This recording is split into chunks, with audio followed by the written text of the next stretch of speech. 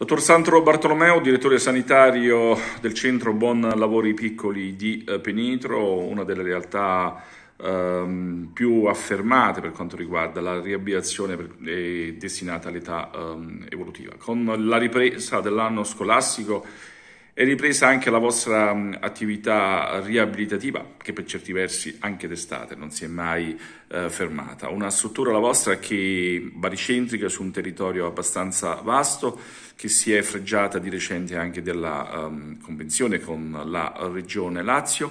Le chiedo subito l'inizio com'è stato? Beh, eh, devo dire, gli inizi non sono mai semplici, tanto più che stiamo parlando di una struttura che è nata sostanzialmente totalmente ex novo. Però devo dire che stato, siamo stati molto molto aiutati anche dalla, dire, dall'esplosione di un bisogno. Eh, le famiglie ci hanno molto sostenuto anche nella fase in cui il centro ha funzionato come centro privato, eh, insieme a noi ci hanno creduto eh, centinaia e centinaia di genitori e adesso grazie a Dio con la convenzione noi abbiamo stabilizzato anche il rapporto con l'utenza ed in particolare noi possiamo offrire le nostre prestazioni in modo gratuito, il che significa che chiunque può accedere a questo centro, ovviamente nel rispetto della lista d'attesa, ma senza costi a carico delle famiglie. Lei deve pensare che noi in questo momento abbiamo in carico oltre 150 in cura, 150 bambini e abbiamo una lista d'attesa quasi di 80 bambini. È ovvio che eh, anche sulla lista d'attesa noi facciamo alcune scelte, nel senso diamo priorità assoluta ai bambini molto piccoli, per intenderci quelli tra 0 e 3 anni, perché sono quelli che più degli altri hanno necessità di essere curati e riabilitati il prima possibile poi tutta la fascia di età prescolare e poi a salire tutte le altre fasce d'età. In ogni caso noi eh, avremo bisogno di poter allargare la nostra attività perché vede questo è un campo in cui io credo che non ci debba essere neanche una persona in lista d'attesa perché si tratta di bambini. Non è pensabile che un bambino con un disagio neuropsicologico, un disagio psicopatologico si dica che deve aspettare anche una sola settimana quindi bisogna arrivare ad una estinzione delle liste d'attesa proprio per favorire la rapidità e la precocità dell'intervento. Naturalmente quello che lei dice è giusto, è sacrosanto e legittimo, anche se poi c'è bisogno, necessita questa, questa, necess- questa uh, richiesta che lei fa di uno sforzo diciamo, istituzionale da parte dell'ASL di Latina e da parte della Regione Lazio. Stavo parlando di um, bambini che in questo momento um, sono um, vostri ospiti e bambini che vogliono attraverso le loro famiglie diventarlo. 151 i bambini in questo momento che sono in cura da voi e ben 74, lo dicevo poc'anzi, un'ottantina che appunto mh, vorrebbero essere eh, assistiti da buoni lavori piccoli. Eh, su questi numeri, le vostre considerazioni, mh, naturalmente sono numeri importanti che non vi aspettavate anche in considerazione del fatto che voi siete pubblici di recente, voi siete stato un centro privato, tuo guru fino a qualche tempo fa. Ma io questi numeri non solo me li aspettavo, ma li conosco anche. Eh, io sono stato fino a qualche anno fa il dirigente del servizio pubblico in provincia di Latina della psichiatria infantile, quindi io le situazioni epidemiologiche dei vari migliori le conosco perfettamente. Qui diciamo l'esplosione è legata al fatto che eh, prima che, che, che noi organizzassimo il centro non c'era nessun'altra struttura in grado di fare il lavoro che facciamo noi tranne quella della Valle Agheida che però non si occupa esclusivamente di bambini, ma si occupa di bambini e di adulti di varie fasce d'età. Noi siamo l'unico centro che ha scelto di occuparsi solo di età evolutiva e siamo rimasti molto fedeli a questa eh, diciamo, nostra decisione perché riteniamo che sia opportuno che questo, oltre che essere un luogo di cura e di riabilitazione, è anche un luogo che accoglie e noi vediamo che le famiglie si sentono molto a loro agio in un ambiente del genere perché si confrontano con famiglie che hanno i loro stessi problemi. La vostra è stata una scelta vincente anche per quanto riguarda l'aspetto logistico. Avete trovato una vecchia struttura che l'avete anche riqualificata nella zona industriale di um, di Minturno, anche se poi confinante con quella di Formia e con quella di eh, Spigno. Una zona baricentrica anche rispetto, dottor Bartolomeo, alle realtà della bassa provincia di Frosinone, la zona del Cassinate e la zona dei Santi.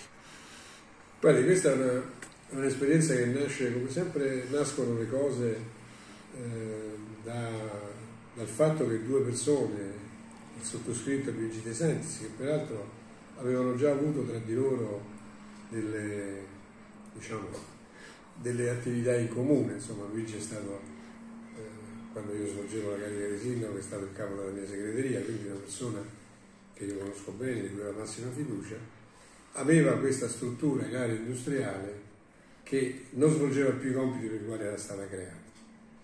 Eh, io le ho proposto subito di operare una riconversione, questa riconversione è stata fatta nel più breve tempo possibile, la struttura era già in ottime condizioni.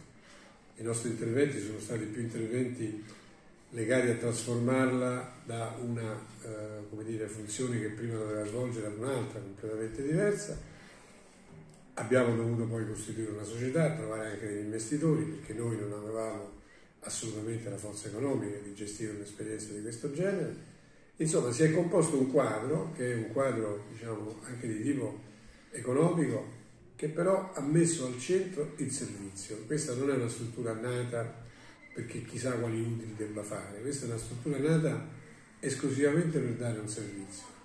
E fatto non secondario che io vorrei sottolineare è che questa struttura dà lavoro a circa 25 persone, tutte laureate, tutte giovani, forse in questo momento addirittura siamo arrivati a 30 negli ultimi dati.